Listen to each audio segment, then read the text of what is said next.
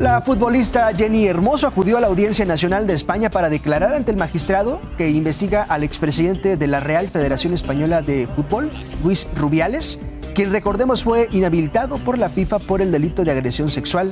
La jugadora ratificó su versión, dijo que tras el beso no consentido que le propinó Rubiales en la final del Mundial, vivió una situación de atosigamiento constante durante las horas y días posteriores para que defendiera públicamente la actuación del ahora exfuncionario.